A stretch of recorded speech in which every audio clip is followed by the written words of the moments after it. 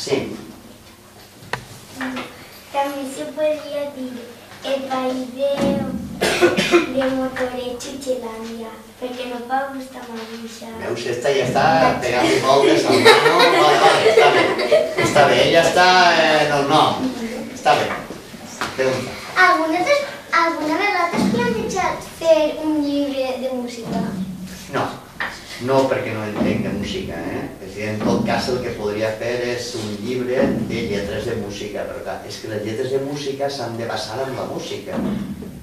Si el, el procediment és, els músics eh, fan uns compassos, eh? que això es diu una maqueta preliminar, que són quatre pavades, eh? només una música, per saber si allò ha de ser ràpid, si és melodiós, si té una tendència, si forma part d'un conjunt d'un disc, i una vegada tinc allò, eh, ja tinc certa llibertat per crear la lletra.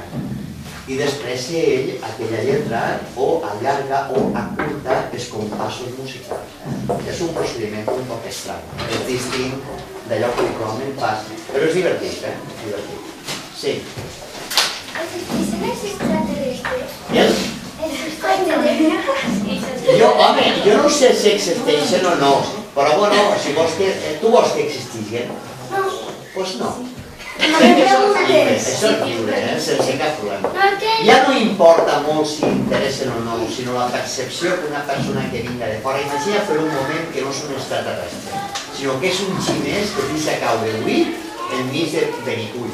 Un xinès de Pequín, que no, mai ha vingut a Espanya, per exemple, que caiga al mig de la plaça de Benicull. Creus tu que notaria alguna cosa estranya? Clar que sí.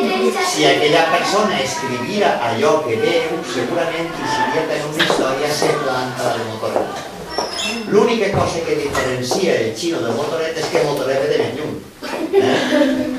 Però bueno, en essència seria la mateixa cosa. O imagina tu que te'n vas avui mateix, et pugen dalt d'un avió i et porten al mig de Pequín. I et deixen caure allí al mig de la plaça Roja aquella. I el diuen, vinga, escriu allò que veus. Però me parlarien d'una altra forma. Exacte, exacte. Caldria també un aparellet eh, per a entendre allò que diuen. Per tant, la reacció de Motoret és una reacció pràcticament humana. Seria la mateixa que tu tindries si anaries a un lloc que desconeixes totalment. I segurament trobaries molts costums que t'estranyarien. I segurament la gent, quan te veiera tu, també trobaria que és distint a ells. Però no perquè siguis distint, perquè ho eres, no pots coincidir en alguna cosa. De fet, Motoret contacta ràpidament amb els xiquets. Eh? Segurament tu també contactaries primer amb un xiquet xinès que amb un adult xinès. Segurament, a que sí. Per tant, no és tan diferent una història de. Que en un germà i jo mos hem inventat unes històries en vez d'escriure-les juguem a això. Ah, molt bé, perfecte. Ara les escriviu i jugueu i ja teniu el llibre, les dues coses. Ho hem fet? Ah, doncs ja, ara tres coses, ara il·lustreu. Tu ho dibuixos. Què ho estic fent? Vic! Pues ara que pots fer és ensenyar a ton pare i a ta mare. Què li va ensenyar? O publicar-lo, publicar-lo i que te donen diners. Eh, pues inventa a veure què pots fer amb allò, eh? Un Exportar. altre. Ho traduïssis al xinès, que això no ho has fet en la vida, que no. Ja està. Digues. La primera obra musical que vas escriure tu, quina va ser? Eh, pues possiblement una cançó que es deia Mare Terra, del grup la Era... La puc cantar jo no, si canta jo plou. Eh. La tercera? Eh, això eh, possiblement a l'escola estigui el disc aquell, eh? el podeu trobar fàcilment. És a dir, el disc es diu Guspira i eh, el, el grup és un carreixet, és un grup molt conegut. Sí. Que eh, lo, els, els aparells, això que dius tu, sí. valen molts diners, no? Ai. No, no cregues, eh, no cregues. Això avui està, perquè realment el que fa són captar ones d'unes persones que estan en unes garites i que cadascuna parla una llengua. Estic parlant de congressos internacionals en viu en directe, on hi ha una persona que està parlant en una llengua i hi ha unes persones que tenen aquest discurs però en una altra llengua i al mateix temps que aquell senyor està parlant, per exemple, en anglès, esta persona està parlant en espanyol, per exemple, una altra persona francès, una altra persona danès, l'altra... M'entens? I cadascuna de les persones que estan allí escoltant que són de nacionalitats distintes, pique la ruleta en la part corresponent a la seva llengua. O sigui que tampoc és tan complicat, eh? No és tan complicat. Sí. Hombre, la meva xica, a veure què t'han. Alguna vegada t'has plantejat a fer un llibre sobre tu? Jo crec que ja he escrit sobre mi moltes vegades, eh? perquè eh, vulguis que no, en cadascuna de les meues obres la meva manera de ser i d'entendre la vida ja apareix. Per tant, si recopilarem tot allò que jo escrit, segurament és la meva vida. Eh? Sí. Alguna vegada t'has plantejat tots els llibres que has fet juntar-los i fer un altre? Eh, allò de les obres completes, no? No, no, no, perquè, a veure, eh, normalment nosaltres els llibres que fem, en fem de vegades més grossos, no? Però normalment són més o menys com el de Motoret, no? Un poc més grossos, no? De vegades més prims, però més o menys com aquell.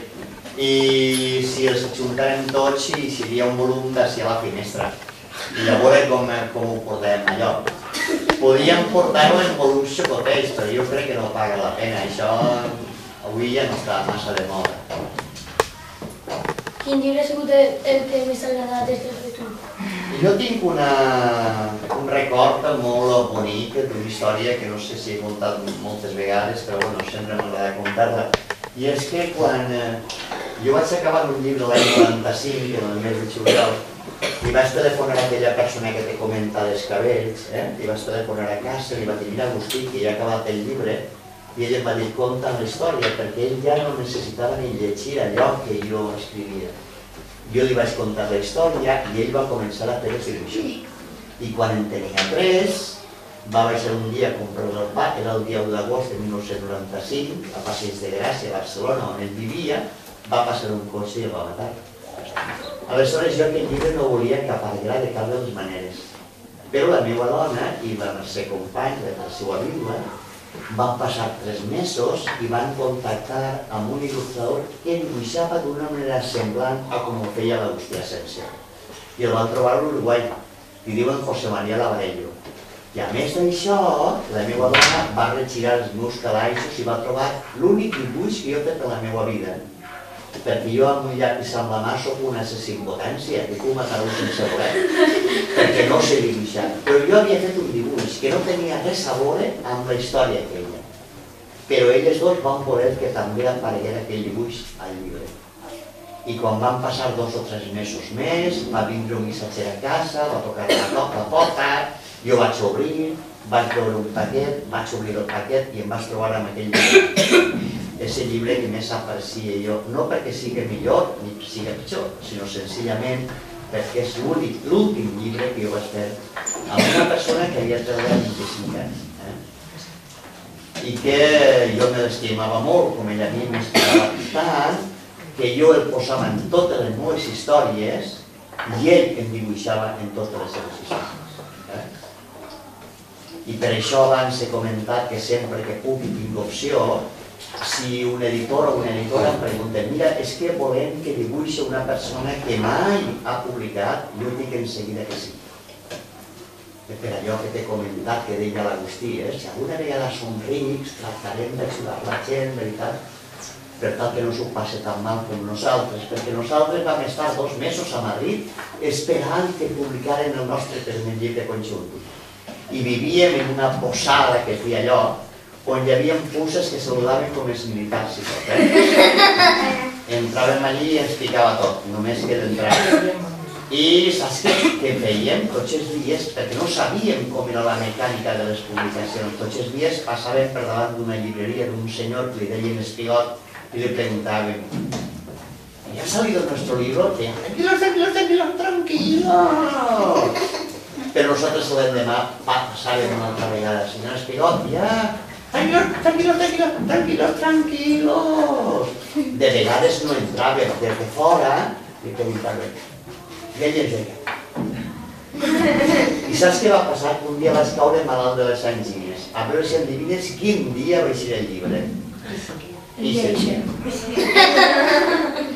I va vindre l'Agustí a la posada, a la posada de la puça, i em va portar un llibre i no me va deixar pràcticament ni veure, és que se'l mirava, se'l mirava, se'l mirava. Sí, sí, va, va ser molt, molt emocionant allà. Sí. Bueno, això, d'això fa tants anys, ja ho dic, encara passaven dinosaures pel carrer i coses d'aquí. No, no molts, ja no en quedaven molts, però encara en quedava algun. Sí, Agustí, quants anys tenia quan va morir? la mateixa que jo. Bueno, ell tindria la mateixa edat que jo, eh? per tant, ell va morir amb 50 anys aproximadament, no sé si es tenia encara. Eh? Uno que va, 40, no sé quants. Era molt jove, molt jove. I a més, té dos museus, eh? Si alguna vegada aneu a Madrid, al Parc del Retiro, hi ha una casa que dins del Retiro que diu la Casa de les Vaques.